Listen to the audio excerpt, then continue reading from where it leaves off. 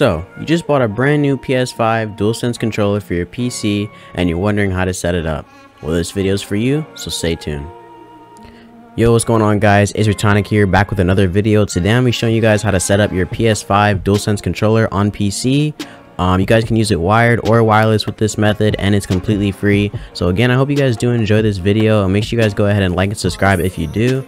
And also I want to let you guys know I didn't want to have to do it to you, but I have to. Literally only 8% of the people who watch my videos are subscribed. So guys, please go and subscribe. I really appreciate it. It's free and you guys can change your mind later. So again, hope you guys enjoy the video. I hope it helps you out and make sure you enjoy.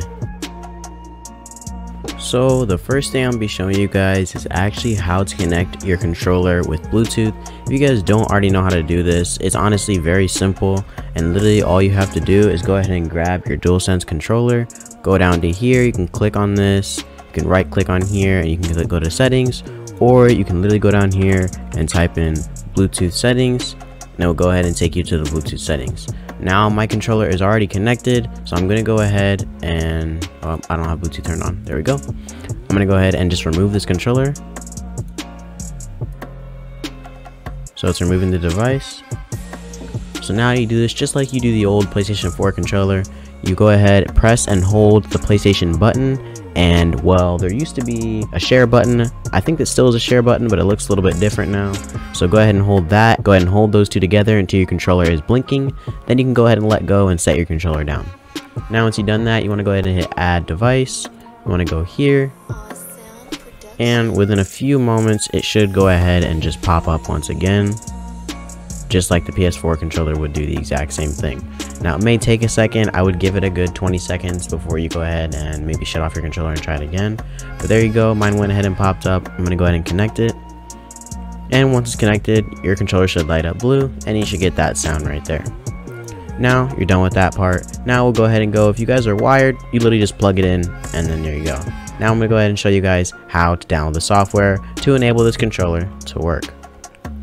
So guys, this next part is actually super easy, literally just showing you guys how to download the software and then I'll show you guys how to set it up properly for the PS5 controller when using it on PC. Literally, you want to go ahead and go on Google or Bing or internet, whatever you use, preferably Chrome, not gonna lie. But uh, yeah, just go ahead and go on your Google or your browser and type in DS4 Windows. Once type in DS4 Windows, there should be three or four different ones that pop up. But trust, I'll leave a link in the description, plus the one you guys want to use, I'll show you here. It's DS4 Windows dash GitHub Pages. This is the most updated version of DS4 Windows you can use. There's also one by TechSpot and J2 Kings. A lot of times those have issues, so just don't even download from them. I would download the one that's from GitHub Pages. Again, I'll leave you guys the link. Go ahead and hit the download now button. Should take you to this page. Now this is where a lot of people get confused. They don't know which one to download. You have windows 64 so you want to go ahead and download not the first one. You want to go ahead and download the second one. DS4 Windows 2.1.17 x64.zip should be 4.2 megabytes. You don't want to download this one. Just go ahead and download this one right here um, you can download it i'll just literally download it to my desktop just to make this a little bit easier We'll show in folder. Now that it's downloaded, I'll go ahead and drag that over here onto my desktop. So here's the program right here. Alrighty, so now that we got the program open, as you guys can see, I also have the program over here as well. That's me already having it download, so I know it works. First thing you guys want to do is go ahead and right click on it. Go ahead and hit extract all. You guys can extract it right here. That's perfectly fine. Should go ahead and do some copying of files, extracting it and everything like that. And then it should open you up another window, which I'll also bring over here. And that's this window with the DS4 Windows file inside of it. Now this file right here is exactly the same as the file I have over here. So I'll just go ahead and drag it and move it right on my desktop. I'm going to go ahead and skip it just replace my, or I just moved my file, but it's the exact same thing right here. Go ahead and double click on it. Now this is where people start to get confused. It's really simple. Trust me, you don't need anything that's really in here. Just don't delete them. You're perfectly fine. Just leave everything in this folder. And when you want to use your controller, literally just open up the folder and go ahead and click on ds4windows.exe. Now once you do that, it's going to go ahead and open up right here. Now this is me, I already have it all set up. I'm just gonna hit save and go back to the main screen. You can make a bunch of different profiles. I'll also leave a link in the description and a card right now. on the screen showing you guys another tutorial I did literally setting this up. It's pretty much the exact same way, but there's a few extra things you need to change for the PS5 controller because as you can see, they actually did just add support to it. If I go ahead and go back to this website, the last thing they did was add um, implemented DualSense support, light bar, rumble, you know, all of that stuff, and it works with USB. So that's the last thing that they added. That is the newest update. It was literally released four days ago. By the time you guys are watching this, it may be like five or six, something like that. But yeah, it's pretty new. Anyway, now you guys can see that my DualSense controller is connected. It shows that it's with Bluetooth. If you guys have it plugged in, it'll show that it's wired. Um, the battery's 50%, that's all good. You guys will, if you're new to this, you'll have to make a profile. If you're not, don't worry about it. I'm going to show you guys how to make a profile here now. Going to ask you for a preset, just hit no. I'm going to go through all the settings with you guys. It's super simple. It's still going to show up as the PS4 controller, that's perfectly fine. They're pretty much exactly the same. Now what you want to go ahead and do is we're going to go ahead and go to the controls. Nothing you really should have to change inside of here. Everything should be perfectly fine.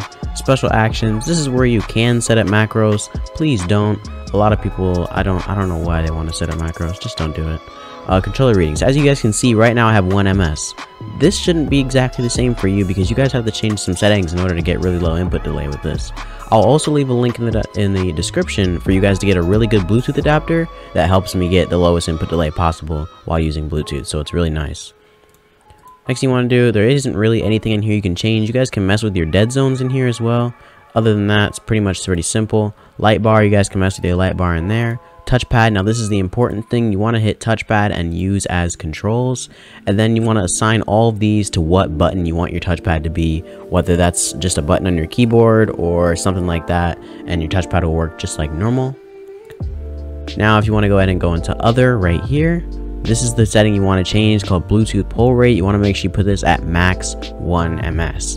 And this gives you the absolute lowest input delay you can get Anyway, yeah, this is a really important setting. You guys want to go ahead and make sure you change this to 1ms and then just hit apply. Once you guys pick a name, you're good. And that's actually the last setting you guys need to change in here. If you guys have more questions, you guys can hit me up in my Discord or my Twitter. Those will both be linked down in the description as well. This is going to be the end of the tutorial. I hope you guys did enjoy it. This works exactly the same if you're using it wired. And yeah, it's pretty much how you set up your PS5 controller on PC for free and it's not bannable on any games. I just want to make that very clear. As of making this video, this software is not bannable under any game's anti-cheat as of right now. I just want to make that very clear just so anybody doesn't think that you can get banned over this. Perfectly safe, just emulating your PS5 controller as a 360 controller so that way it works in all games. And yeah, it's really nice. I love the software. I've been using it for a while now. Anyway, that's the end of the video. Again, hope you guys did enjoy. Hope it helped you out. If it did, make sure to drop a sub and a like. I'd really appreciate it. I'll see you guys in the next tutorial or Fortnite video. Peace out.